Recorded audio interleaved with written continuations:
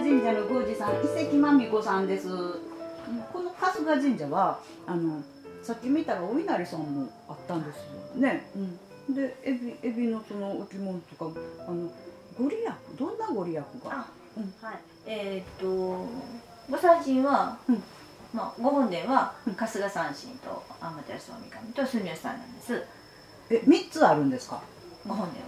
ご本殿は三つある、はい。うんで春日三神っていうのはまあもともとは武神なんで、まあ、戦いの、うん戦いの。から勝負うん。の神さん、勝負の神さん、で天照大神はお医者さんと同じ神お医者さん、うん。で住吉さんは公開安全とか大量の神さん。でエベスさんもうちには経済者にありますんでエベスさんは、まあ、大量の神さんでしょ、うんだお稲荷さんも商売繁盛、うんであとフルさんって言ってその神の神さんでこれは病気平流うん。で白龍さんっていうのをお祭りしてるんで、うん。それは金運の神さん、うん。それだけ？そんなん四つもあったらね本当は四つの役割を兼ねてる感じになるんですか？一社一社。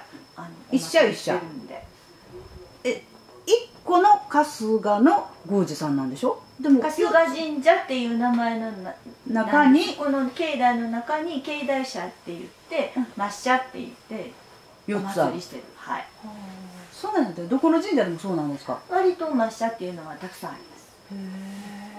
お祭りは一つって思ってうんそうそうそう。そうそう。で日蓮宮が二つあるでしょ？こっち鏡でこっち。あここ二つあるでよって思ってたんやけどどこでもいくつもあるんやないくつもというかそのご本殿の神様はうん。一社かも、あの一柱かもしれへんけどそのうん。境内の中には抹茶って言ってたくさん。へえなるほど。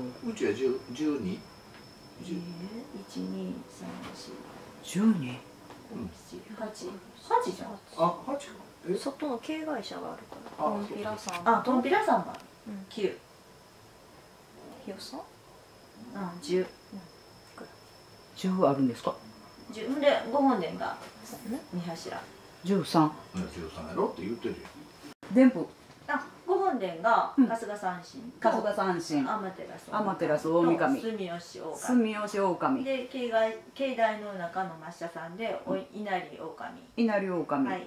でえっ、と端から才の神。才の神。スサ狼スサ狼それからエベスさん。エベスさん。八王子社。八王子社。フルさん。古さん。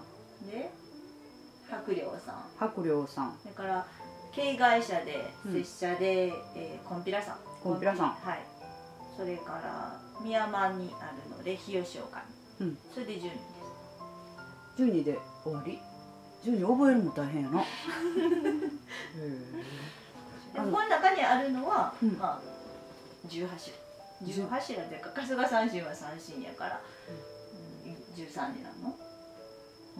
そうはい。すごいな。覚えられへんよ